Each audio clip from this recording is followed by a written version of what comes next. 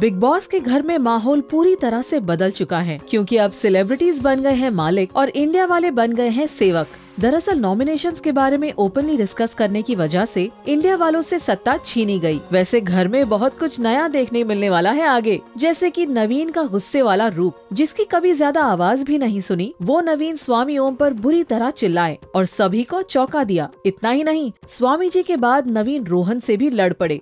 Well, आज घर वालों को मिलेगा लग्जरी बजट टास्क जिसका नाम होगा बीबी लॉन्ड्री जितना इंटरेस्टिंग ये टास्क होगा उससे ज़्यादा इंटरेस्टिंग होगा सेलिब्रिटीज और इंडिया वालों के बीच हुई लड़ाई।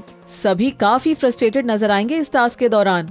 ऑल्सो इस टास्क के बाद निथिबा खाना बनाने से इनकार करेंगी, जिस वजह से एक बार फिर सेलिब्रिटीज और इंडिया वालों में आर्ग्यूमेंट होगी, और स्पेशली नितिभा और रोहन की, जहाँ एक तरफ़ इतना लड़ाई झगड़ा चल रहा है, वहीं कहीं न कहीं मन्नू और मोना एक बार फिर एक दूसरे का दर्द बांटते नज़र आए। क्या आपको लगता है की इस सीज़न में मन्नू और मोना के बीच लव एंगल बनेगा?